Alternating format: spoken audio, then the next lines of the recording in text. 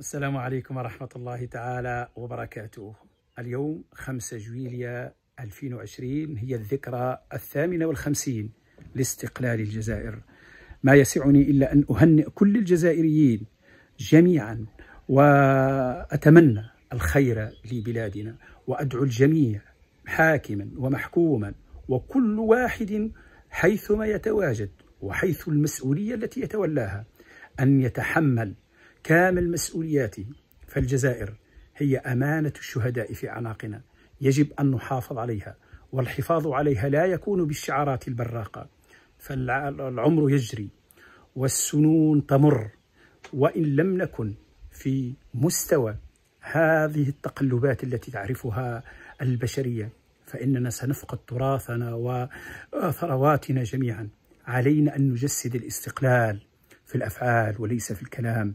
علينا أن نحقق ما حلم به المجاهدون وحلم به الشهداء المتمثل في العيش الكريم للجزائريين. يجب أن يعيش الجزائريون كرماء وفي عزة ببلادهم أن نحقق لهم كل ما يصبون إليه.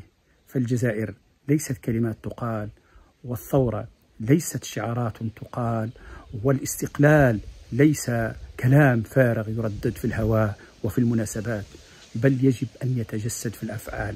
فكما كان في زمن الاحتلال للجزائر رجال حرروها من الغزاة فزمن الاستقلال أيضا يجب أن يكون له رجال يواصلون رسالة المجاهدين والشهداء رسالة أول نوفمبر الخالدة التي هي آه، تجسدت في ذلك البيان التاريخي الذي حدد هوية الدولة ومبادئها ومستقبلها وواقعها وما تصبو إليه.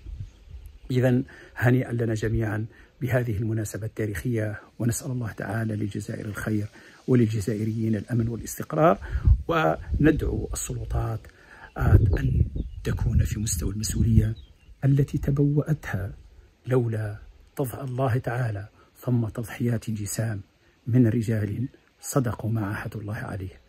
فمنهم من قضى نحبه ومنهم من ينتظر. وبإذن الله علينا ألا نبدل تبديلا فالجزائر أمانة في أعناقنا. الجزائر عظيمة. أخطأنا بحقها جميعا بلا شك. وعلينا أن نكون في مستوى التحديات القادمة لأنها ليست كما نتوهم ولا كما نتخيل بل هي صعبة ومعقدة وتحتاج لنا أن نكون على نبض رجل واحد من أجل وطن واحد ومن أجل راية واحدة ألا هي علم الجزائر. السلام عليكم.